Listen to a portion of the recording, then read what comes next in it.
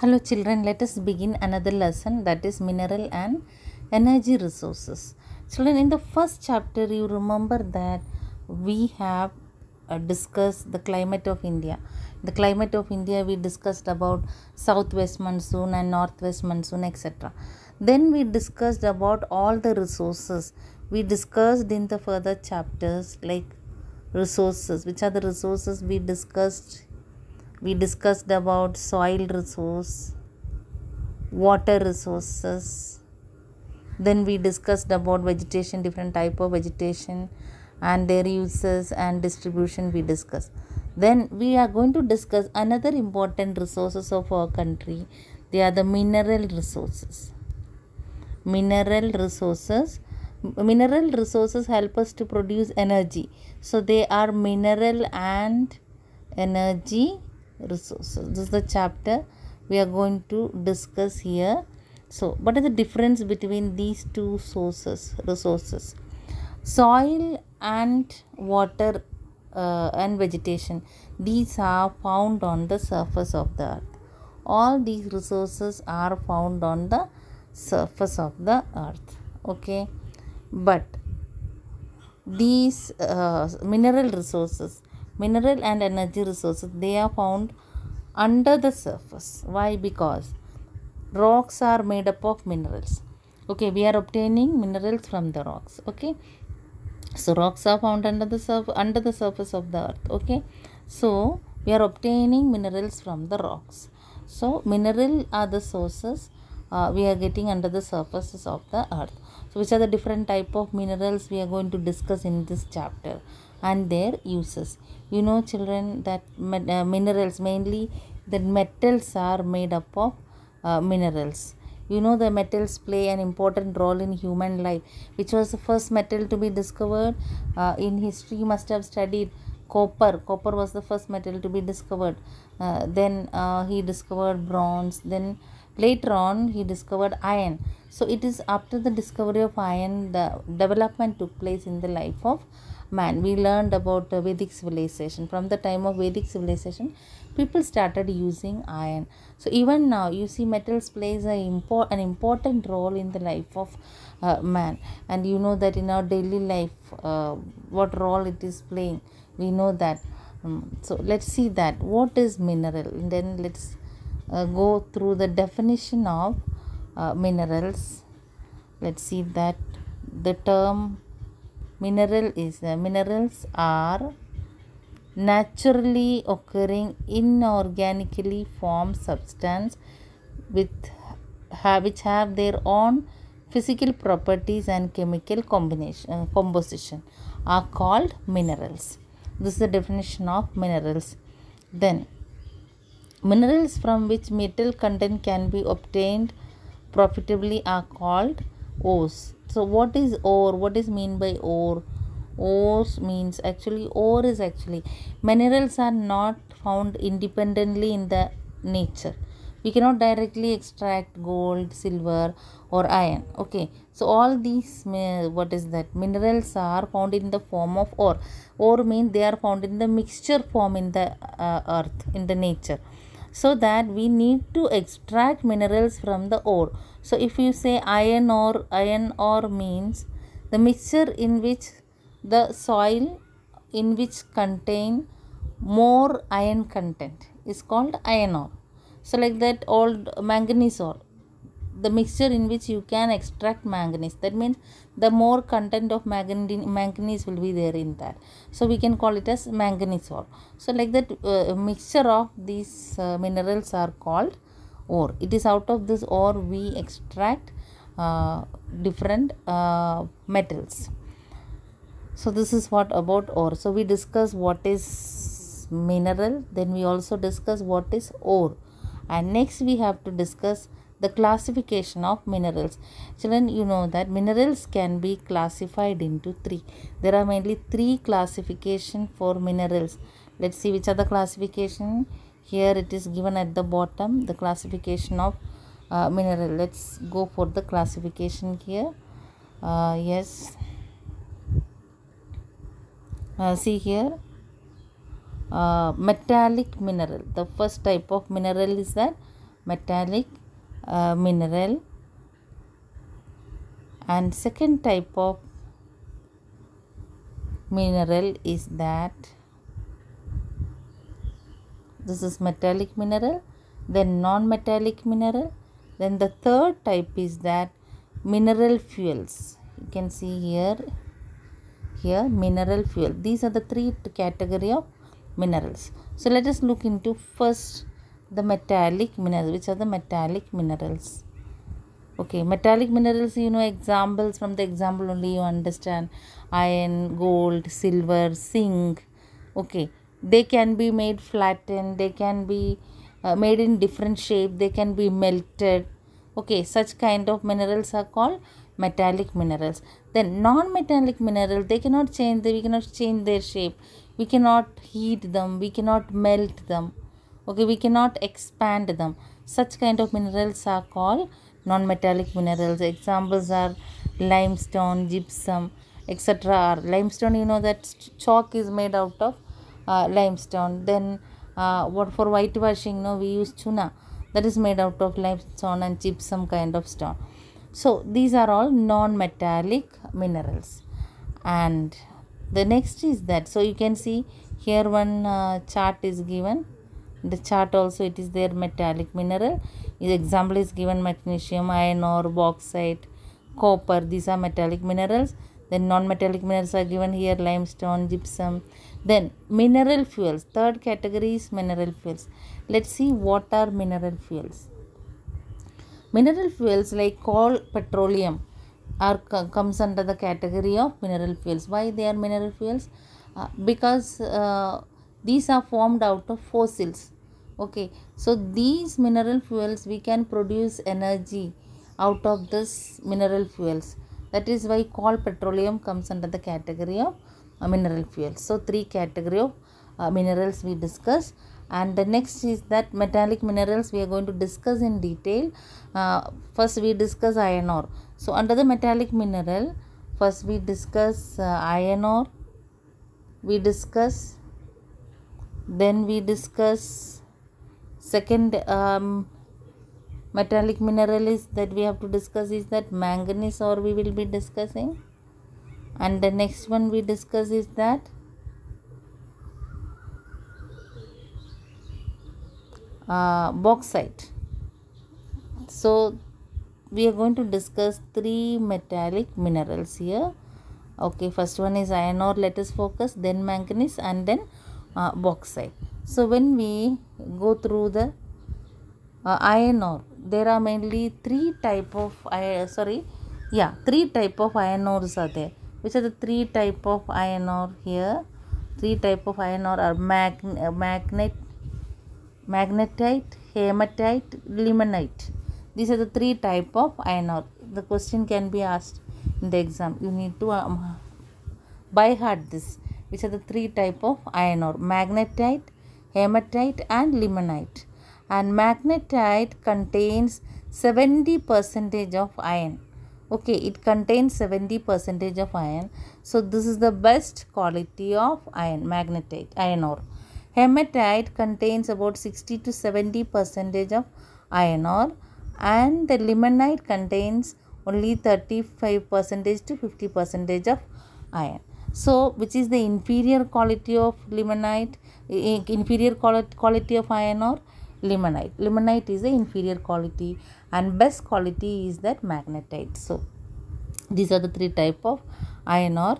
And the next we discuss which are the important state or dis- uh, and district these iron ores are found. Which are the important states here? Goa is mentioning under the goa it is given which are the important states you need to go through. Then orissa is there then jharkhand chhattisgarh tamil nadu maharashtra karnataka andhra pradesh telangana. These are the important states where these iron ores are found and there are also some of the important districts names are also given in which these iron ores are found. And next we discuss the uses of iron. Okay what are the uses of iron? You know that iron is iron ore you know iron is produced. It is used in making machineries and other industries and uh, transport system their equipments agricultural uh, equipments. It is used for uh, building uh, infrastructure building bridges pipes etc so each and every day in our daily use we know the importance of iron. So iron is the backbone of the industry we can say. And next is manganese ore. Manganese is it is used in manufacturing special type of steel. What is the use of manganese actually?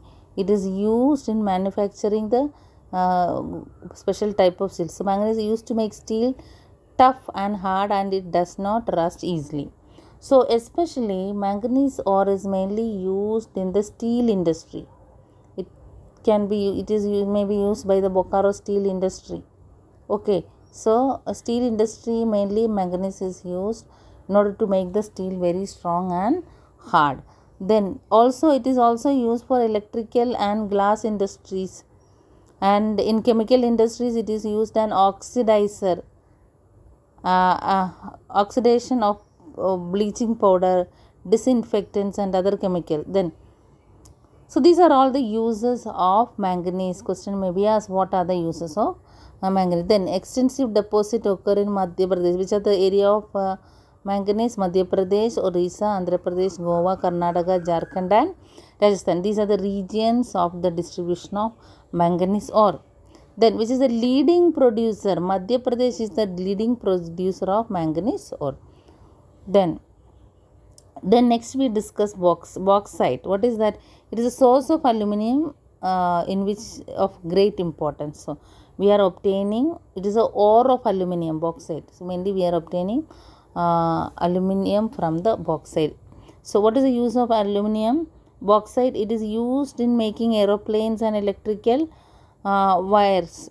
Okay aluminum is mainly used in the for making why? Because aluminum is a very good good conductor of electricity. So for making electri electric wire and even the aeroplane and all uh, bauxite is used. The principal bauxite producing area which are the areas of bauxite producing area? Jharkhand orissa uttar pradesh gujarat maharashtra and tamil nadu. So moving on to the next chapter next sorry next page. Um, we see that so it is a good conductor that we discuss. So it is also an important metal used by automobile and defense industry. Yes another importance of uh, bauxite is that what? It is also used aluminum is mainly used in automobile industry and also defense industry for making weapons and all. Then copper is malleable.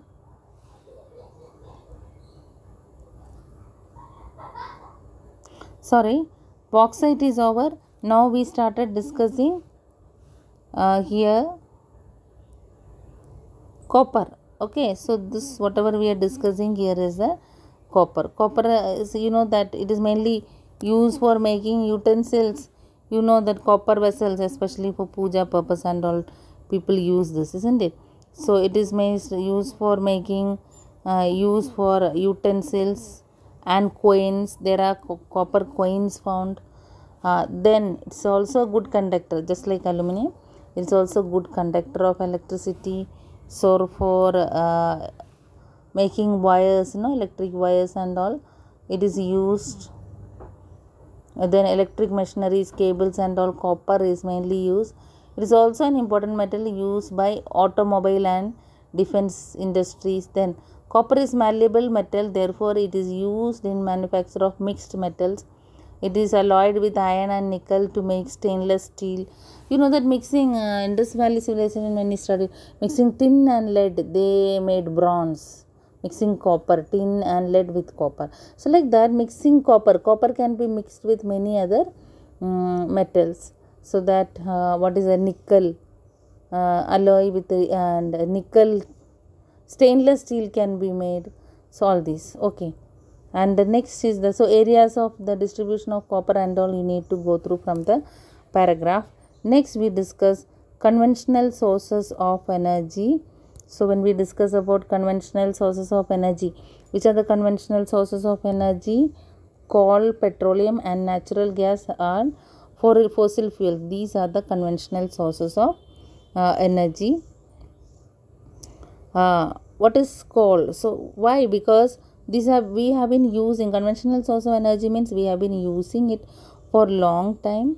And uh, at the same time uh, see here the definition. These sources of energy are being used extensively since long time in such a way that their non reserves have been depleted to great extent. At the same time it is becoming increasingly difficult to discover and exploit their new deposits. Okay so you know that coal deposit petroleum and all and as much we are using it is depleting getting over. So these are non renewable we can say them we can call them as non renewable these are non renewable resources okay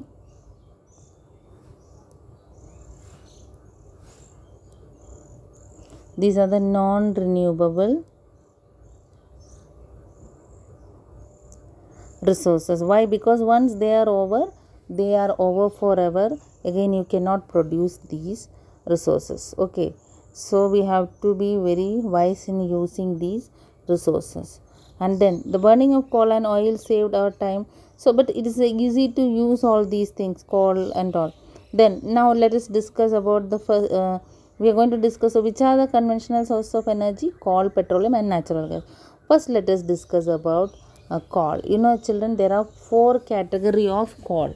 Okay when the question is asked about coal you have to remember four category of coal which are the peat lignite bituminous and anthracite. These are the four category of uh, coal. So uh, peat is a inferior quality it's not of a good quality. Why?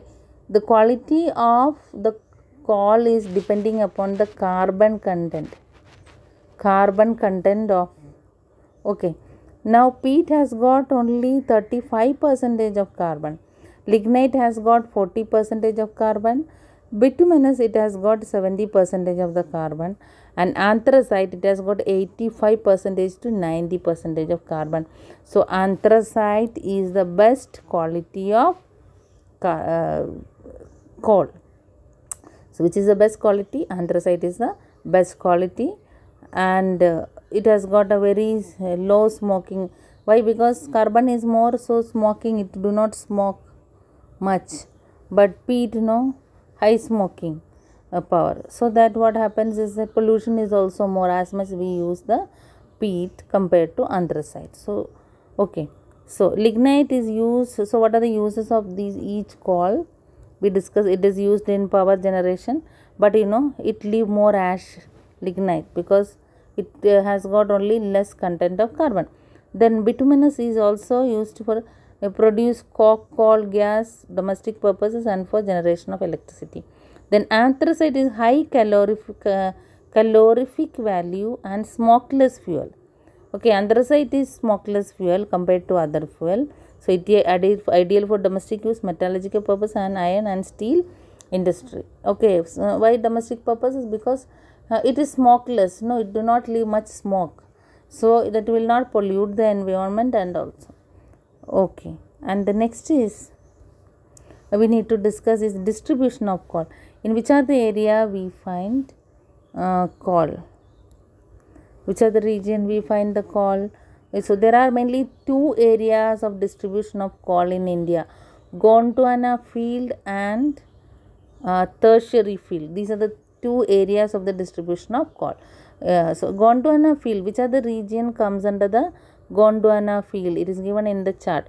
Damodar River Valley, Son Valley, Mahanadi, Godavari and Wardha. These are the two regions of Gondwana coal field. Now, these coal fields comes under the which are the states? Damodar Valley, uh, which are the states comes under the Damodar Valley coal field? Jharkhand, West Bengal, okay then Son Valley which other uh, state comes under Madhya Pradesh Mahanadi uh, field Orissa and Chhattisgarh Godavari and Wardha coal field Telangana Andhra Pradesh and Maharashtra. So accordingly you need to study.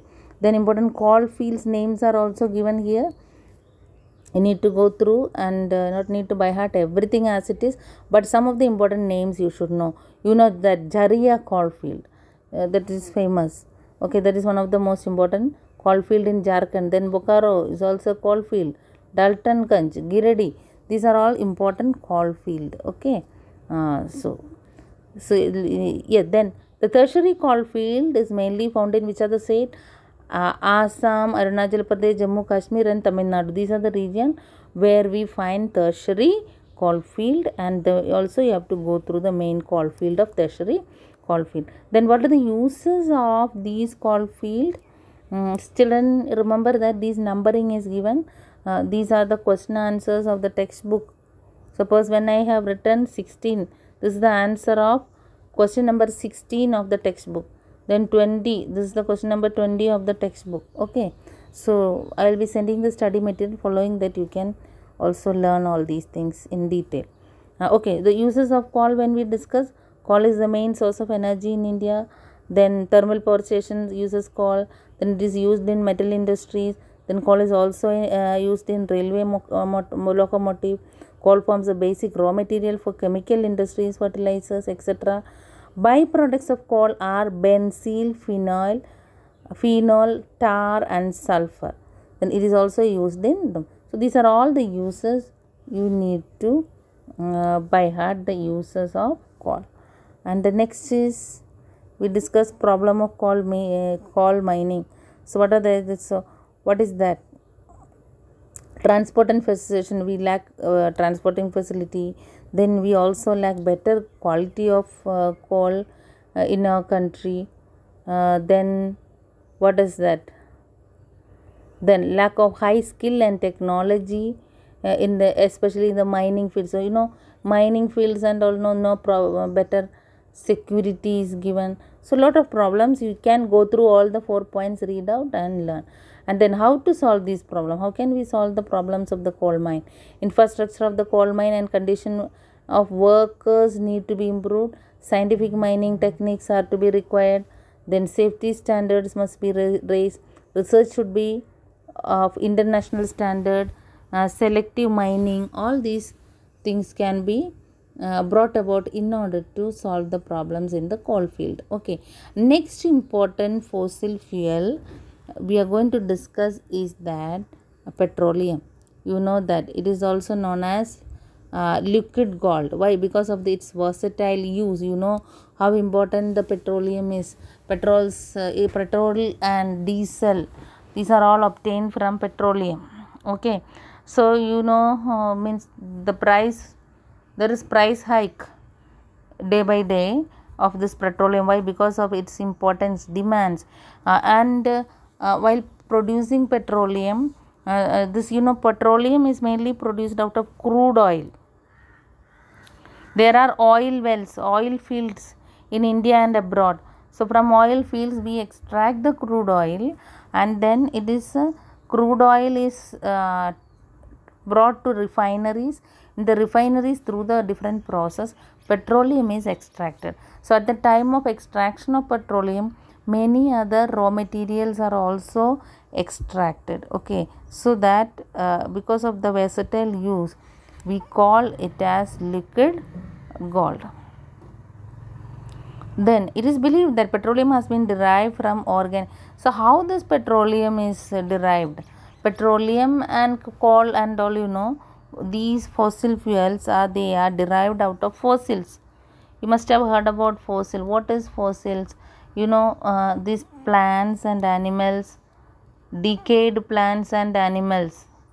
Okay once they decay what happens? Decaying you understood now uh, they are decomposed. They remain for long time. Then due to the process of bacteria decomposition take place. They undergo the different layers of the earth. Then they remain there for long time. Then they undergo extreme temperature and pressure then they forms fossils. So it is out of this fossil coal and petroleum is formed. Okay. Then so we read this paragraph. What is this? 32 what is marked here as 32 we read that. It is believed that petroleum has been derived from organic plants and animals which was buried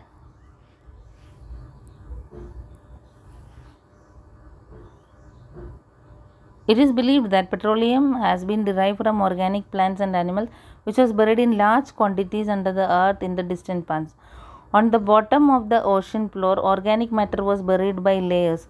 So, understood. So, mainly out of organic plants, okay, uh, these animals and all, they are buried under the uh, what is earth. Then, on the bottom floor of ocean floor, especially. Uh, so, petroleum is mainly actually extracted from the uh, bottom of the ocean floor, uh, especially from the continental shelf.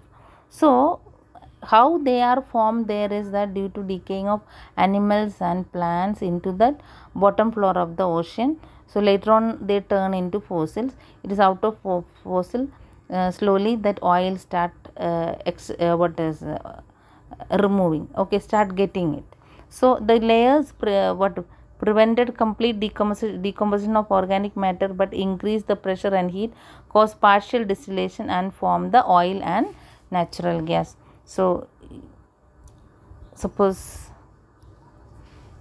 the ocean, example this is the ocean, oceanic area, suppose the coastal region. Remember this is the shallow sea where there is no depth near the coast. Suppose this is the coast. Okay. So this fossil fuel this petroleum is mainly uh, found in this or this shallow sea. This is called this portion is called continental shelf where there is no much deep near to the coast you find the shallow sea. This can be called as continental shelf so mainly continental shelf. Okay. So petroleum is mainly extracted uh, from the continental shelf of the ocean floor. Uh, how it is formed you understood? Formed because decayed plants and animals are buried into the ocean floor. Later on they turns into fossil fuel. So uh, later on we start getting uh, petroleum out of the uh, fossil fuels and next we discuss about distribution of petroleum in which other region uh, petroleum is found in India. Mainly uh, uh, what is that? Offshore near the Mumbai which other region like then Assam Valley. These are all the region offshore region of Mumbai Assam Valley then Gujarat and Gulf of Khambhat region we get. So major oil producing area in India can be classified into uh, mainly uh, which one?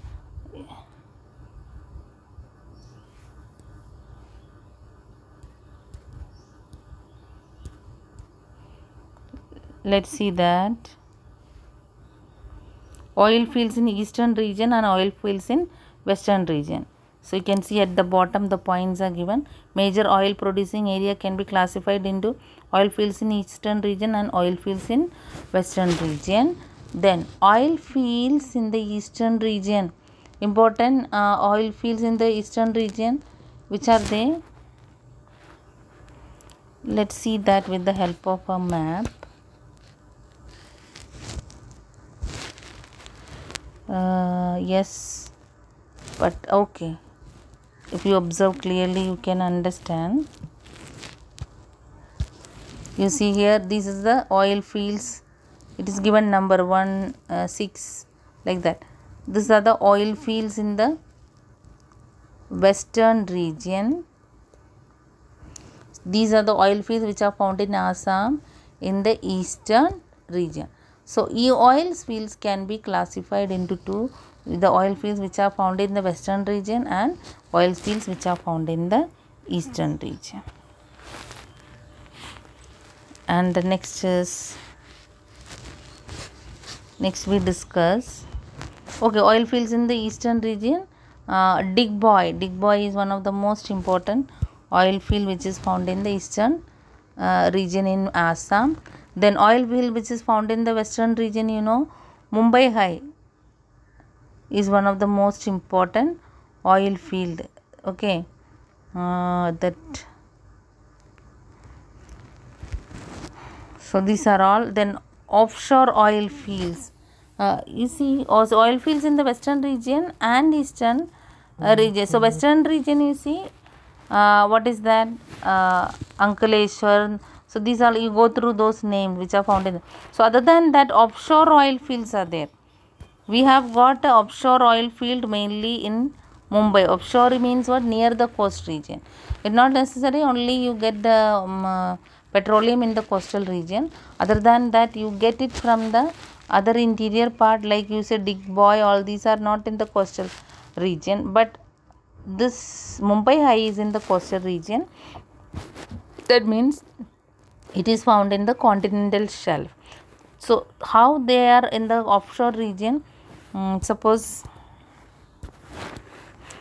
this is the ocean continental shelf then they have made a platform here in the continental shelf this platform which is constructed for the extraction of oil is called what? Sagar. That is called sagar samrat. You understood what is sagar samrat is a platform which is constructed for the extraction of oil from mumbai high. Then what are the uses of petroleum? Petroleum is a compact and convenient fuel though th- through pipeline it can be easily transported. It does not emit smoke and ash like coal. It is used for generation of power. And its byproducts are lubricants kerosene vaseline tar paraffin. Vaseline we use now for um, beauty purpose no? Vaseline is used. So it is used actually number of byproducts of petroleum is used in the chemical industry especially in the uh, medicine uh, medical field uh, also. So number of field it is used the byproducts are used. Okay then the next we are discuss is that natural gas. So natural gas is an important source of energy in india. It is cheaper and eco-friendly. There is its important is increasing day by day natural gas. Why? Because because it is in eco-friendly so that nowadays it is being used in delhi and all delhi all the vehicles no strictly they have to use the uh, what is a cng what is a compressed natural gas are need to be used. Then gas, this gas is used in the chemical fertilizer petrochemical industries and several industries. And then lpg uh, liquid petroleum gas is also is uh, become popular domestic fuel nowadays made out of this. Then largest consumer producer natural gas in the world the gas authority of india limited gail okay has taken responsibility the field of natural gas exploration. So this particular company gail is mainly in the field of uh, these uh, lpg gas production. Then some of the other natural gas producing region like mumbai high gulf of Khambhat assam all these region are producing. Uh, then okay then what are the advantages of uh, conventional sources and what are the disadvantages of conventional sources? You know that Mm, gas petroleum and natural gases they are ready made fuel uh, they are widely available and affordable. It is cheap to mine and convert to into energy. Easily they can we can do extract them and we can convert into energy. Then oil and diesel are still good choice. Then reserves of coal gas oil are abundant uh, so then what are the disadvantages? They are non renewable once they are over they are depleted they are finished forever. We cannot reproduce them. Why? Because it takes millions of years for their production. Then combustion of fossil fuel generate sulfuric uh, and carbonic and nitric acid which these are all combustion means. Burning these fossil fuels can uh, emit the poisonous gases into the atmosphere. Then fossil fuels also contain radioactive materials mainly uranium thorium which are released in the atmosphere for burn. So radioactive materials are released in the atmosphere. So it is not at all eco-friendly. These can harm the um, atmosphere. So burning coal also generate large amount of bottom ash and fly ash. So these are all the disadvantage. So fossil fuels are non-renewable and they are also not eco-friendly. So these are the disadvantages of uh, fossil fuels then in which other region oil refineries are found so when we discuss about oil refinery uh, you see that O IOL. These are the uh, companies actually. These oil refinery they are undertaking the refining process. Hindustan Petroleum Corporation HPCL. What is IOL? Uh, oil Corporation Limited. Then Hindustan Petroleum Corporation Limited is there. Then BPCL. What is it? Bharat Petroleum Corporation. So these are all in the field means uh, of refining process. So these are all the some of the company in which or oil refineries are undertaken. So Digboi Assam. So number of oil refin refineries in India. You can see uh, what is that Barauni it is there marked Barauni on the map of India. Digboi is there in Assam. Uh, Kochi is there in Kerala. Uh, Guwahati in Assam. So oil refineries are there in many places. Around 10 places in India we have got oil oil refineries. What is that? Crude oil, you know. First of all, it is in the form of crude oil. Then in the oil refinery, they do the processing to make the petroleum. Okay, petroleum and its byproducts are also made at the time. So, okay then uh, refineries like Digboi, Trombay, uh, what is that, Trom- Visakhapatnam, Noonmati. So these are all you find out in which are the state. So not so important to by heart everything. Some of the important uh, questions only you need to go through out of it. And next we have to discuss about hydel power.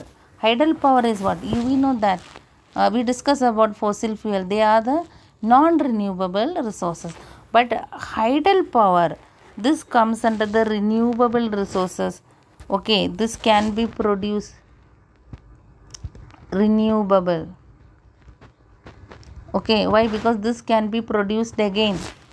But at the same time non renewable like fossil fuels cannot be produced. Once they are over they are over forever and because it takes millions of years for their production at the same time they are not eco-friendly.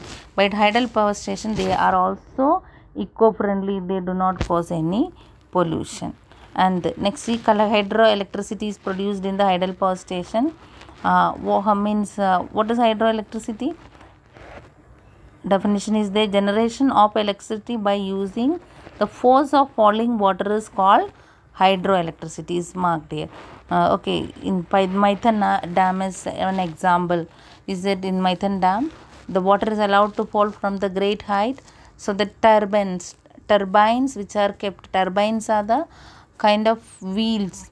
You know huge wheels are attached with the small wheels like they all rotate uh, due to the force of the falling of water from the great height. So, due to the rotational motion, energy is produced that is being stored in the dynamos and later on that energy is supplied. So, this is how the processing is done in the hydel power station. So, uh, hydro, uh, so what are the features of this hydel power station? Features like you know electricity, hydro power, hydroelectricity is cheap. It is uh, initial cost of dam. So power stations may be costly but afterwards so making power stations you know these are costly but afterwards what happen? They don't need to spend any money for the fuel because water is only used so means without much expense it will run for long time and produce enough amount of electricity. It can be so created 24 7 assuming that so anytime 24 7 day you can uh, 24 months and every the means what means every time you can uh, without any obstruction produce the electricity. Then what are the favorable conditions for hydroelectric uh, development? So uh, what is that? Favorable condition is that that region should have permanent supply of water. Then only you can produce hydroelectricity. Otherwise a river when it becomes dry up during the summer season then you cannot produce electricity there. Then rough topography. If it is a land you know the land is a leveled land then land is leveled. Okay you cannot waterfall cannot be there. Suppose the irregular land condition if there is a irregularity in the land like this irregularity. So waterfall can be there. So from here you see waterfall. So from the waterfall electricity can be produced. So that is why rough topography then suitable site should be there. There should be uh, two hills between two hills uh, or such kind of uh, uh, two hills and all between two hills it is easy to construct the dam. Okay. So like that suitable site should be there. Clean river water if the most of the time muddy river then that we can damage the turbi- turbines. So then suitable climate should be there. Uh, like continuous uh, uh, what is that?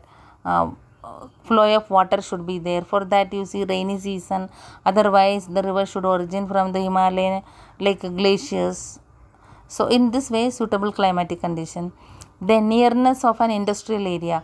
Then only they can suppose uh, hydel power station they produce the electricity they can sell to the uh, industries if industries are close by. As much they are far away their transportation cost also increases. Then favorable conditions for hydroelectric development in india. In india we have number of hydroelectric power stations. What are the favorable condition uh, supported such kind of uh, establishment of a hydel power station Indian rivers are almost perennial. Yes, we have perennial. All the South Indian rivers, you know, they origin from Himalayas. They are perennial. Then Western Ghats, you know, receives high amount of rainfall. So those rivers also they have continuous water flow. And at the same time, in the Western Ghats, you know, topography is also very rough, uh, not leveled land. So it is con- uh, what is that suitable so undulating topography is suitable. So in India, many places we have undulating topography. Then in peninsular India and the mountainous area have swift flowing rivers are there. So just like you know they fall uh, the peninsular India and all you know rough topography from the mountain and all waterfalls are there. So the number of waterfalls suppose number of waterfalls together makes the rapids so such kind of rapids are there and waterfalls are also there. So that these are all favorable for the construction of the uh, hydel power station. Then peninsular india has mountainous areas. Then industrial centers are very far away from uh, hydroelectric centers. So power can be supplied at cheaper rate. Uh, so industrial centers are not so very far away from the hydroelectric so industrial stations are also set up nearby hydel power station so in cheaper rate they can also sell their electricity. There are two main uh, advantages developing a hydel project. What is the two main uh, advantages that one advantage is that production of electricity. Okay uh, what hydel project? Is using power to various industries. Then insufficient water for sorry uh, water for irrigation in india. So in india we have no proper uh, sufficient we do not have sufficient water supply. So if this hydel power stations are produced uh, means the dams are also constructed the reservoirs. They store water. So that that uh, water can be also used for the irrigation purpose. So two major use advantages that one is electricity production uh, so that it can be uh, the, what is that distributed among the industries and also uh, what is that water can be supplied to the irrigation purpose. And the next is what uh, compared to Himalayan region, these western Ghats are uh, what is that uh, developed as the main region of hydel power electricity. What is the region? Reason. So number of hydel power stations are now located in western Ghats region. The reason are western Ghats receives heavy rainfall. You know that. Uh, you have learned the chapter climate of India. So western Ghats from the southwest monsoon, western Ghats receive more than 200 meter rainfall. So, the Western Ghats receive heavy rainfall. The Western Ghats have many natural waterfalls. Hydel power station is only the source of power there in the Western Ghats. Then they go for it. Then Maharashtra, Gujarat, Karnataka are the industrially developed states, so they need electricity. So for all these reasons, hydel number of hydel power stations are uh, there set up. Then what are the advantages of hydel power station? And disadvantages you need to go through. Advantages you know that is in power is inhost in inhost uh, what inhospitable and renewable inexhaustible. So what is inexhaustible? Uh, because they never finish they get never finish inexhaustible. And at the same renewable means we can reproduce hydropower. That is one advantage. Then it is cheaper. Why? Because in the beginning for construction it is costly then after that uh, you see for fuel you don't have to buy any fuel water flow. With the water you can produce it. Uh, do not create any waste pro- byproduct. Like you know thermal power station coal is used so that byproducts are there bottom ash fly ash isn't it? Uh, then other kind of some gases are also emitted. These are all byproduct. Then hydel power project do not cause any pollution. Then they are also easy to transport. Then what are the disadvantages they are very expensive. Gestation period is too long. So once the power um, uh, the station is set up it takes long time for them to start working. That is what the gestation period. All that period you know you need to spend a lot for construction. Then fluctuation of water supply also can happen. Sometimes water level of the river uh, fluctuating. That will affect the production. The dam can create flooding of the land sometimes the land you know uh, dams are there so during rainy season that can cause flooding. The building of dam uh, for hydro power can also cause lot of water access problem. Why? Because building of dam on the river so what happens is that suppose suppose this is a river a dam is constructed on its way the construction of dam here. So what happened? Most of the water is collected in this dam isn't it? Huge quantity of water is collected. So that what happens is that uh, what is that? The water flow is becoming less uh, uh, here. So that here in this region it start flooding. Why? Because it water is obstructed no? Flow of water. But at the same time the region which people who live in the downstream of this river they start facing scarcity water scarcity. So this can bring about dispute between the two states. Suppose this is in tamil nadu this is in karnataka or kerala then there can cause a dispute. So such kind of problems are there. Okay. Then hydroelectric uh, development in india. There are a number of hydroelectric power stations are there in india. Their names are mentioned here which are there some of the shivadasapuram project kaveri mahatma gandhi project then krishna raj sagar see these are all the some of the important project and their states names are also given not so important. But we need to study about two important uh, hydel power project in india. Mm, that is Bhakra Nangal and hirakud before that let us discuss about multi-purpose project. What is multi-purpose project? Uh, you see uh, these hydel power stations are established not only for the electricity uh, production. So they are established also for the irrigation purpose also for the uh, flood control and also for the purpose of navigation. How it happens is that suppose hydel power station so you see dam huge dam is there. So water huge quantity is collected here so it is used for irrigation purpose you see. They make canals then. People can make canals. So like this canals are made uh, so from here also canals are made. So that what happen this water can reach to the cultivable land. At the same time these are also used for navigation purpose. People can travel also through this canal navigation purpose. Okay then there are also uh, what is that? Fish fishes also can be grown here isn't it? In this reserve here. So they also control the flood. So lot of purpose. These are all different multi-purpose. These are the multi-purpose of the um, what is that uh, these projects. Benefits of multi generation of electric- hydroelectricity provide irrigation dam which are constructed for storing water also help in checking flood. So you go through all those benefits. Then disadvantages of these multi projects are there why? Because natural flow flow of the river is obstructed that i explained you earlier excessive sedimentation. Because uh, all the you see the water which is collected in the reservoir means the water which is carried by the river so it carry also sediment.